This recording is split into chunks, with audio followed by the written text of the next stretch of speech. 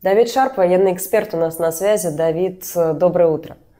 Доброе утро, Даша Антон. Директора не вижу, но ему тоже заочное доброе утро.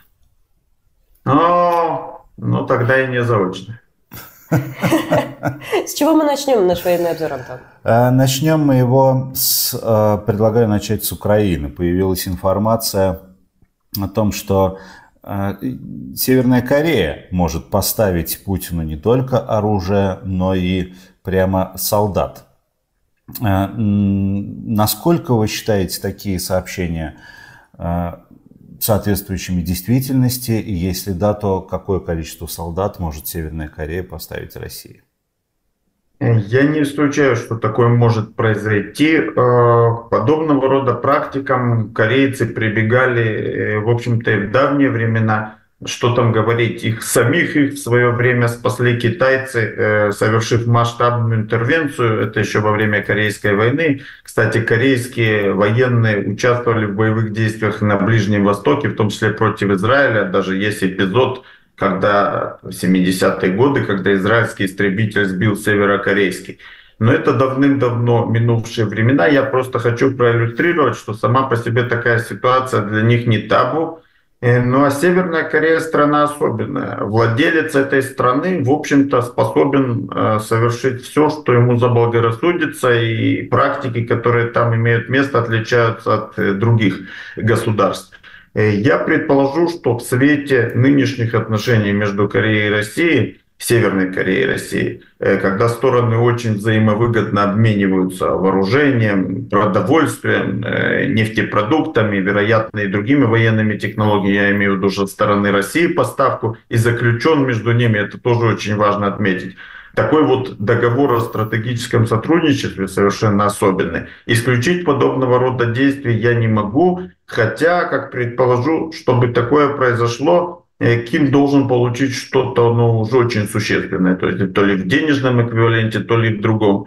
Э, появление небольшого количества корейских военных на фронте, причем в качестве непосредственных участников боевых действий, это бы даже в свете вот всей этой истории понимания не было бы даже великой сенсацией. Другое дело, что небольшое количество не может на фронте сыграть какую-то существенную роль. И понятно, что у чужестранных военных, э, не имеющих боевого опыта, с, мягко говоря, сомнительной мотивацией, э, не понимающих язык, э, за что они воюют и так далее, есть свои минусы присутствия на фронте. Но исключать этого нельзя, лишь бы если Ким почувствует, что он получит за это слишком много, а России такое понадобится – Э, он пойдет на этот шаг. Э, насчет понадобится ли России, когда мы видим, что Россия набирает, в том числе и включая, э, в том числе и сталкиваясь с разного рода мини-международными проблемами, третисортных наемников из разных стран третьего мира. Вплоть до того дошло дело, что с индусами даже был определенный конфликт, не с индусами, с правительством Индии, и требовал Моди даже вернуть его граждан назад в Индию. В общем, могут захотеть северокорейцев на фронте и могут северокорейцы на фронт попасть. В таком виде, в виде рабочих, их уже не раз отдавали аренду, в том числе в Россию. Э, так что все возможно в данном случае. Есть э, часто повторяющаяся мысль, что Ким до последнего будет сопротивляться э, отправке своих именно военных на фронт, мол, ракеты, пожалуйста, снаряды, пожалуйста, а вот э, людей не хотелось бы, просто потому что эти люди увидят, как другие люди живут. И даже Россия, например, может... Да или, что они там в этом окопе увидят-то? И даже окоп может показаться им территорией свободы. В чате добавляют, что не сбегут ли эти корейцы, ведь такая возможность. А как вы думаете, это опасность для Кима или нет?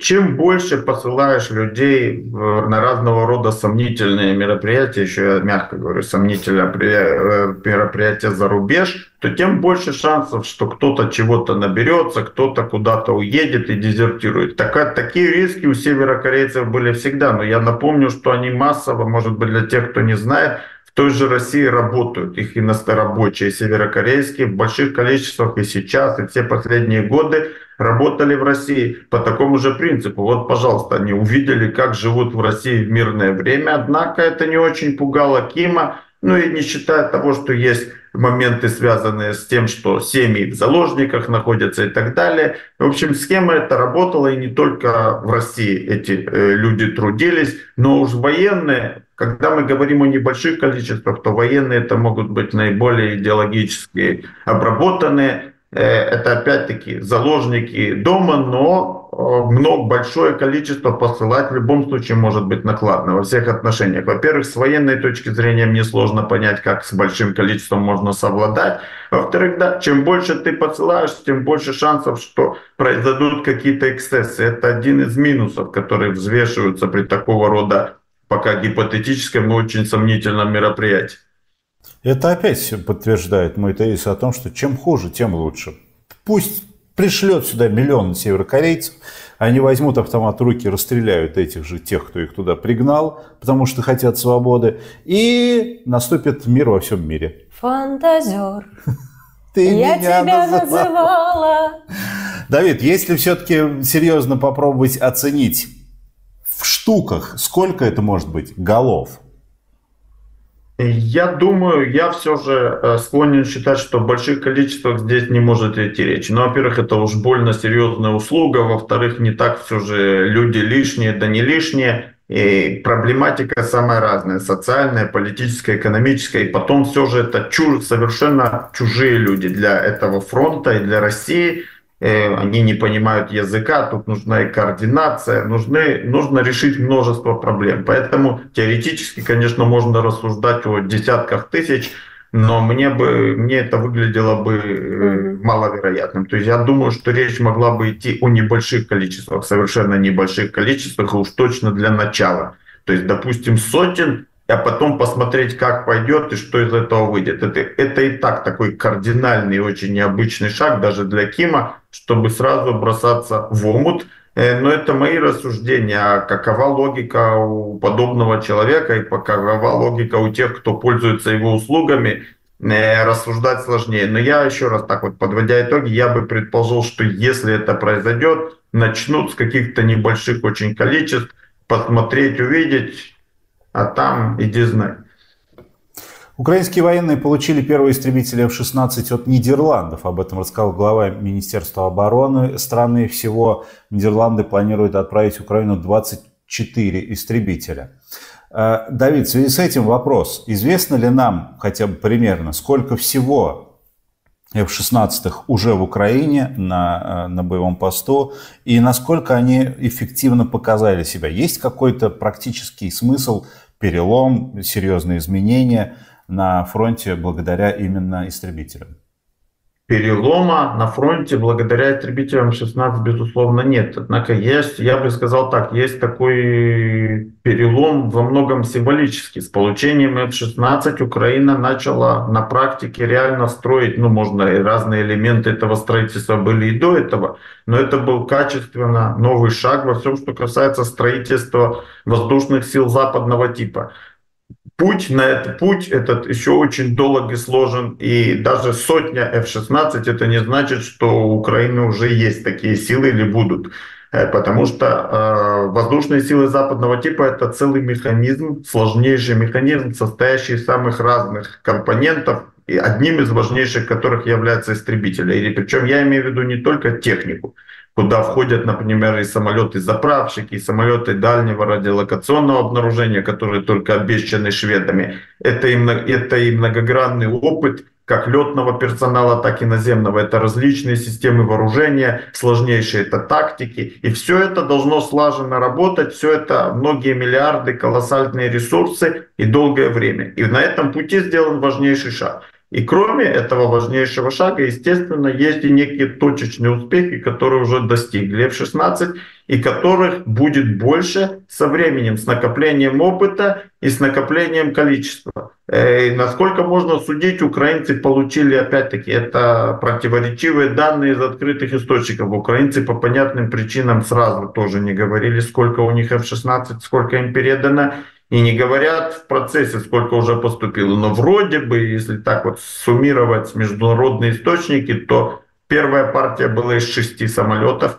Мы знаем, что один был потерян, как минимум. Э, ну и, возможно, поступило еще несколько. В любом случае, все упирается там в количество пилотов, уже боеготовых на данный момент, и, э, и персонал. Если по персоналу мы точно не можем знать, сколько персонала наземного готово, и мы можем только понимать, что эти люди не обладают богатым опытом работы на F-16, даже если у них был богатый опыт на других самолетах. С пилотами, благодаря открытой информации утечками, мы понимаем, что их э, десяток, другой, третий, это все, что успевают и могли бы успеть до года обучить, до конца календарного года. Самолетов же должно быть меньше, значительно меньше, чем пилотов, поэтому иначе они простаивают, просто являются мишенью. Так что самолетов немного. Я сомневаюсь, что прямо сейчас есть двузначная цифра. Если есть, то это тоже вероятно, то вряд ли с первой цифрой больше двух. Э, и это больше двух, это очень оптимистичный был бы э, прогноз. Самолеты отличились, насколько можно судить по отрывочным э, сведениям, в ударах в охоте за шахедами и крылатыми ракетами. Проявились с лучшей стороны. Во всем, что касается других миссий, всему свое время их необходимо освоить необходим риск, необходим минимальный, и мы в любом случае об этом ничего особого не знаем. Было ли, не было, украинцы держат это в тайне. А, и еще одну тему, и еще раз мы хотим вернуться к Дискорду. До этого мы обсуждали уже то, что Роскомнадзор заблокировал Дискорд в России. А, и в том числе появились сообщения о том, что им пользовались и российские военные. И не только российские, и украинские. В основном Но украинских-то это не коснется? Ну да, а, но в основном говорят о том, что Discord был такой площадкой для тех, кто управлял беспилотными летательными аппаратами. Насколько это соответствует действительности, по-вашему? Вот тот, тот самый случай, когда мне сложно ответить на этот вопрос. Даже когда есть разного рода слухи и сообщения, э, это стоит принимать очень осторожно, воспринимать стоит осторожно. Э, и управлять беспилотными летательными аппаратами, что я могу сказать? Если речь шла в э, армии, где э, действуют, ну, скажем так, действуют настоящие меры безопасности информационной, то такого рода возможностями бы не пользовались. Но с другой стороны, когда иных возможностей нет, то, то частенько пренебрегают разного рода мерами безопасности и осторожностью, в том числе и рискуют быть вскрытыми вражеской разведкой и так далее, и так далее, ради того, чтобы здесь и сейчас добиться определенных успехов и действовать с определенным комфортом. Но тут это просто нужно знать внутреннюю кухню э, и понимать многие вещи, которые так вот просто недоступны. Мне сложно что-то добавить, кроме вот этих общих фраз, что пользуются всем, чем удобно, иногда вопреки, Иногда это противнику дает очень немало возможностей для обнаружения. Э, ну а результаты, результаты, если эти возможности реализуются, то и результаты соответствующие. А с другой стороны, пока нет, то это помогает работе. Это слишком общее, но добавить сложно что-то. Тогда предлагаю развернуться и перейти ко второй войне, к войне Израиля с Хазбалой, и не только с Хазбалой, но начнем с нее. Цахал сообщил, что убил в Бейруте главу штаб-квартиры Хазбаллы Сухейла Хусейни Хусейни. Можете вкратце рассказать, кто это и насколько это э, значимое достижение? Кроме того, появляются слухи о том, что убит не только преемник Насралы, но и преемник преемника. А насколько эти слухи, слухи могут быть подтверждены, э, честно говоря, я даже имени его запомнить не успела, а он как бы уже как будто бы и ликвидирован. Но может и нет. А, тут давайте тогда начнем э, с последнего. Э, это пример премьер-министра Нетаньяху. Вчера в выступлении в своем обращении он решил обратиться к ливанскому народу на английском языке по поводу, собственно, Хизбаллы, какую роль она играет в судьбе этого народа. И в том числе он фактически первый, стал первым официальным лицом израильским, который э, сказал утвердительно, что преемник Хизбаллы, это Хашин Сафи-1, еще 4, э, 4 октября был уничтожен во время удара, напоминавшего тот, который враг, в результате которого уничтожили Насралу. То есть Хашин mm-hmm. Сафи-1 не был формально избран, это очень важно, преемником Насралы, он был почти стопроцентным претендентом на то, что его изберут, а по факту он был человеком номер два, причем десятилетиями при жизни Насралы, и таким премьером при президенте, только премьером, обладающим существенными полномочиями на ежедневной основе. Так вот, он был ликвидирован, но э, стопроцентной именно гарантии формальной армия еще не дала на момент нашего с вами разговора, но несмотря на это министр обороны высказался в том духе, что скорее всего ликвидирован, Обычно министр обороны любой Израиля не будет говорить, если он не уверен почти на 100%, а премьер высказался в стопроцентном режиме. Значит, э, с ним находилось немало разного рода командиров разных звеньев, и в том числе был, э, и в том числе возможно, но тут не назывались фамилии, кто-то, кто мог претендовать еще да, в дальнейшем на избрание преемников. То есть, а может быть, это Нетаньяху просто сказал для красного словца, хотя даже если в этом случае немалая доля истины есть. Э, по всей видимости, Хашим Сафеддин ликвидирован. И это очень и очень значимый успех – После Насралы успехи выглядят несколько меньше, такого рода затмеваются, но тем не менее это а, весомое достижение. По поводу вопроса Антона, был ликвидирован э, один из высокопоставленных командиров, который как раз вот совсем, в отличие их Сапиадина, мало знаком или вообще не знаком публике. Речь идет о военном командире высокого звена, даже должность которого довольно сложно перевести, ее не очень правильно сформулировали изначально. Э, нашей пресс-службы. Но этот человек в заметной степени ответственный за логистику, за разного рода военное производство в штабе Хизбаллы, начальник вот этого, назовем это так, военно-производственного и контрабандного, контрабандного в плане перевозки иранского оружия департамента. Это в общих чертах. Плюс у него накопленный богатый опыт, и он, что важно, несмотря на немного такое непонятное звание, он был членом Совета Джихада. Это узкая группа высшего руководства, высшего военного руководства Хизбаллы. Так вот, он был уничтожен, и еще энное количество людей почти на каждом, э, каждой ежедневной основе удается ликвидировать кого-то из э, таких вот командиров довольно высокого ранга, и несмотря на то, что это не очень громкие имена, это играет большую роль в войне. Именно вот этот вот системный подход, когда э, группировка в заметной степени, в заметной, не в полной степени обезглавлена. То есть высшим руководством у нее проблемы, оно по сути отсутствует и некому принимать глобальные решения, ну почти некому. Э, ну а что касается вот этих командных цепочек, то они разрушаются, это непосредственно влияет на ход войны. От поставок оружия из Ирана и заканчивая масштабами и точностями, э, точностью ракетных обстрелов. Департамент контрабанды возглавить не хотите ли? Ты знаешь, как-то не хочется. А, тем не менее, есть еще один вопрос. А, а, состоялась самая масштабная атака Ливана, атака Хезбаллы с юга Ливана по Израилю. И в этот раз Хайфа стала таким центром этой атаки. Около 100 ракет было выпущено по ней. И это напоминает мне о том, что еще с масштабной атаки Ирана по Израилю мы ожидаем какого-то серьезного ответа а, и его пока как будто бы нет. С чем вы это связываете? Знаете, пару слов о, о самой атаке угу. Хизбаллы. Да, эта атака особенно примечательна тем, что Хайфа, мегаполис Хайфа. Хайфа это настоящий израильский мегаполис, подверглась удару вот такого количества ракет.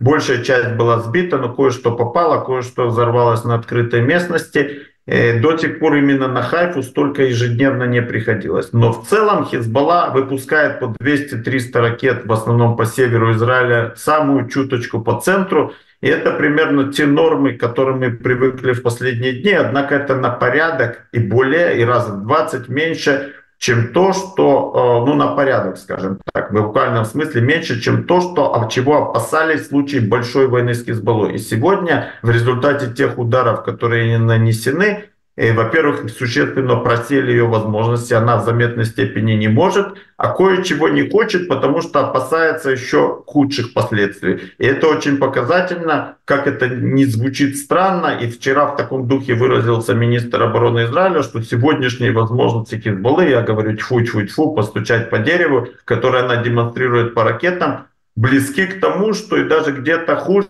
чем то, что демонстрировал Хамас в начале этой войны, что никто даже и предположить не мог в случае северного сценария. Касательно израильского ответа, это вопрос на, на триллион долларов. Э, ответ будет, и он будет, скорее всего, в ближайшее время. Э, почему с ним задержались? Тут несколько причин есть. Во-первых, речь идет о решении стратегической важности, буквально может быть даже исторической. Представьте себе, что израильское руководство, я не говорю, что так будет, решило уничтожить иранские объекты ядерной программы, нанести удар по иранским ядерным объектам. То, о чем говорили десятки лет, и вдруг оно может случиться. Это подразумевает масштабную войну с Ираном, множество важнейших последствий для Израиля, для региона, для мира. И решиться на такой шаг это непросто. То есть можно ради такого шага, если о нем думают, то можно подумать. И хотя бы несколько дней. Значит, но это я лишь один пример привез. Есть на самом деле другие причины, более прикладного характера. Например, если решились на некую атаку, довольно масштабную, желательно к ней подготовиться и потренироваться еще лишних несколько дней максимально важно определенных, добиться определенных э, договоренностей Соединенных Штатов. Ну, скажем так, не договоренностей, но как минимум координации. Американцы очень сильно давят,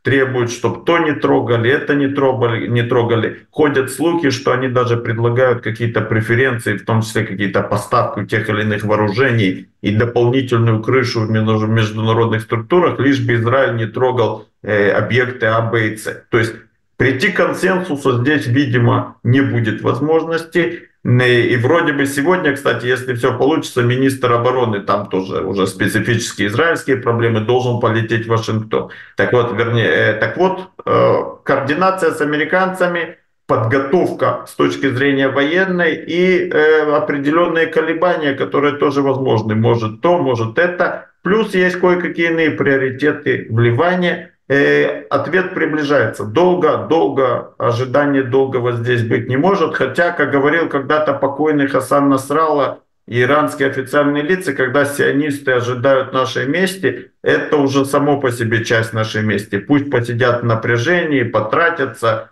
поотменяют рейсы и так далее. Возможно, чуть-чуть сегодня это э, бумерангом э, к Ирану возвращается подобный подход чате спрашивают у нас. Николай есть... спрашивает. Да. да. да.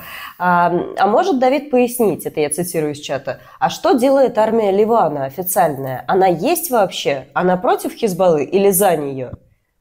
О, армия Ливана это целая история. Я даже надеюсь опубликовать у себя такая самореклама, видео, материал про, про эту совершенно особенную в мире армию. Армия Когда Ливана появится этот материал? Давид?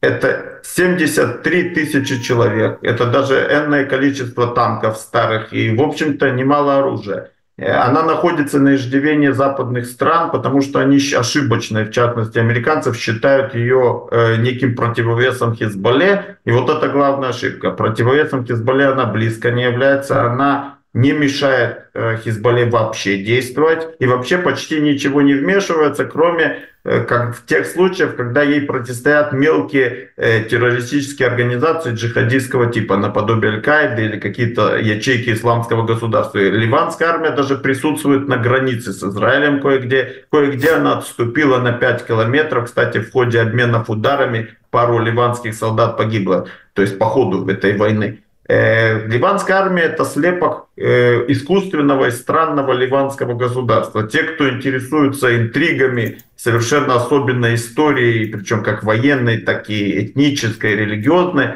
Всем рекомендую почитать об истории Ливана, в том числе о гражданской войне в этой стране. Э, ливанская армия — это представители разных конфессий, где одни не пойдут против других, где армия не лишится действовать против представителей одной из сильных конфессий скорее всего, армия, которая в случае гражданской войны вполне может разбежаться, причем шииты с оружием в руках могут уйти к Хизбалле, кто-то в другое место. В общем, это абсолютно неэффективный инструмент, который является вот такой вот надеждой э, американцев и французов, и, кстати, к сожалению, передавших им даже немало довольно опасного оружия. Против Израиля случалось, что она обращала свое оружие, но не очень интенсивно и эпизодически. Нельзя исключать, что в случае дальнейшего продолжения наступления израильского вглубь Ливана, наступление потихоньку продолжается и развивается, найдутся части, например, состоящие из шиитов или отдельные солдаты или еще кто-то, кто это оружие обратит против Израиля. Такое тоже не исключается. Это одна из претензий Израиля тем, кто поставляет оружие ливанской армии,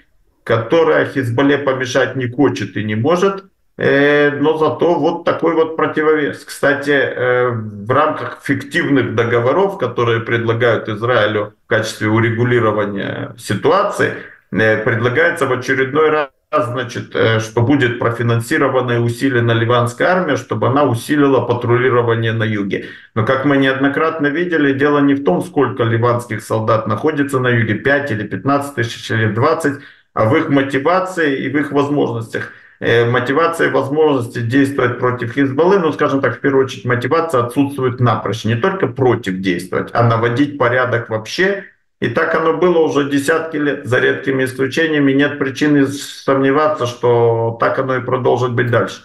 А все-таки про возможность, про мотивацию понял, про возможности отдельно. 73 тысячи человек ливанская армия.